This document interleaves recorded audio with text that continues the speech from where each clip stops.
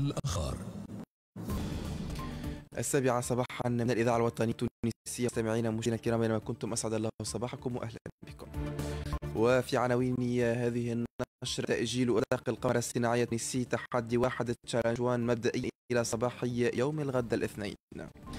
يوم الأحد إطلاق عمليات التطعيم باستخدام لقاح فايزر وفق رئيس اللجنة العلمية للتلقيح بوزارة الصحة. وتركيز مخبر عسكري متنقل للتحاليل الجرثومية اليوم الأحد بسليانة في تفاقم الوضع الوبائي بهذه الجهة. التفاصيل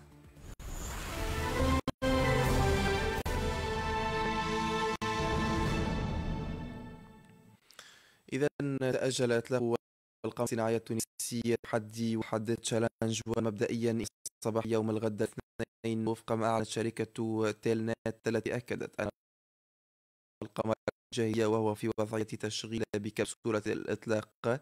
على متن المركبة الفضائية سويوز اثنين وأن التأخير خارج عن نطاق مجمع تلنت هذا وأوضح مدير مشروع تحدي واحد أنيس يوسف الموجود حاليا في كازاخستان أن وكالة الفضاء الروسية روس كوسموس قررت مبدئيا تأجيل إطلاق مركبة الفضائية سويوز اثنين التي تقل القمر الصناعي التونسي وتعدد القمر الصناعي الأخرى من عدة دول إلى يوم غد الاثنين نظرا إلى تواصل هبوب الرياح القوية ببيناكور الكازاخية وكذلك لأسباب فنية.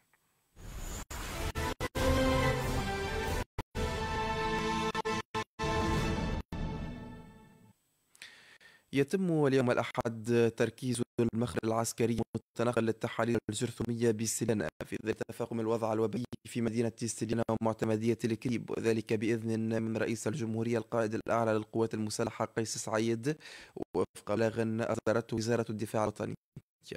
وسيتم تركيز هذا المخر بهدف القيام ب 200 تحليل يوميا لتقصي الحالات المشتبه إصابتها بفيروس كورونا إلى حين سيطرت نهائيا على هذا الوباء.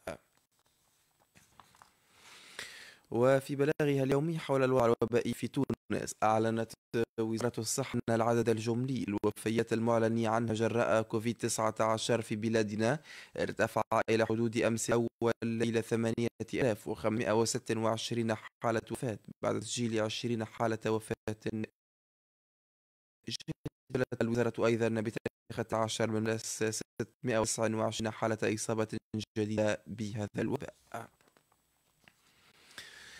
من جهة أخرى أعلن مدير المركز الوطني لليقظة الدوائية عضو اللجنة العلمية لمجابهة فيروس كورونا. رياض دغفوس أن بعض الأعراض الجانبية العادية لتلقيح سبوتنيك ظهرت على 81 شخصا. تلقوا هذا التلقيح.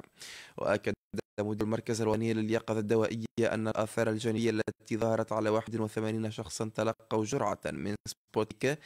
لم يثبت ارتباطها نسبة 100% بتلقي تلقيح مضيفا. أنها أعراض عادية يمكن تسجيلها عقب تلقي أي نوع من التلقيح بقية الأمراض الأخرى. كما ينتظر أن ينطلق استعمال تلقيح فايزر؟ بداية من اليوم الأحد أو غدا الاثنين في بلادنا. من جهتها أفادت مستشارة وزير الصحة إيناس عيادي أنه بعد استكمال عملية التلقيح لعدة مهني قطاع الصحة في غضون الأسبوع المقبل ستنطلق بداية من الأول من أفريل. عمليات التلقيح ضد فيروس كورونا لفائدة كبار السن من المسجلين في منصة إيفاكس نشرة الأخبار متواصل على موجات الإذاعة الوطنية التونسية على موقعها Radio Nationale point tn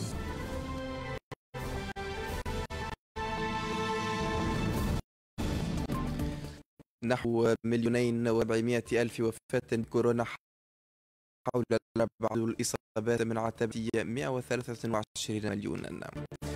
أشار المسؤول الثاني في صندوق النقد الدولي إلى ظهور بوادر تعارف أو بوادر تعاف اقتصادي عالمي لأنه حذر من استمرار وجود مخاطر كبيرة أنها ظهور سلالة جديدة من وباء كورونا. في ليبيا تم رصد قيام مرتزقات فاغنر الروس ببناء ساتر ترابي بين مدينتي سرت والجفرة وفق ما نقلت وكالة أنباء الأناضول عن مصادر عسكرية ما اعتبر تعارضا ونقضا لاتفاق اللجنة العسكرية خمسة زائد خمسة.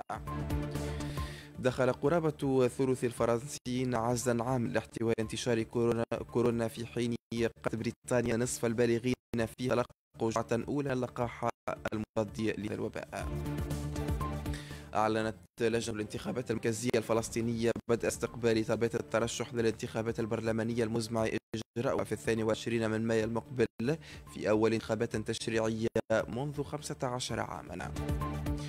غادر سفير روسيا لدى الولايات المتحدة الأمريكية أمس واشنطن متوجها إلى مقول التشاور مع حكومة بلاده بشأن تصريحات الرئيس الأمريكي جو بايدن في حق تدير الروسي فلاديمير بوتين. وضرب زلزال بقوة تفوق سبع درجات على مقياس ريشتر سواحل شمال شرقي اليابان وتسبب في موجة مد عال بارتفاع متر في نفس المنطقة التي دمرها زلزال التسونامي قبل نحو عشر سنوات. نهاية هذا المعدل الإخباري المفصل قدمناه لحضراتكم من الإذاعة الوطنية بأبرز ما جاء فيه تأجيل إطلاق الصناعة التونسي تحدي واحد تشالنج مبدئيا إلى صباح يوم الغد الاثنين. اليوم الأحد انطلاق عملية التطعيم باستخدام لقاح فايزر وفق رئيس اللجنة العلمية للتلقيح بوزارة الصحة. وتركيز مخبر عسكري متنقل التحاليل الجرثومية اليوم الأحد بولاية سرينا في ظل تفاقم الوضع الوبائي بهذه الجهة. نهاية المرة أخرجها لحضراتكم إذاعيا هيثم والناس وتلفزيا مريم النعم أجمل تحيات مكرم الهداش المشوار تواصل بعد قليل مع نيس الحرزي في موسم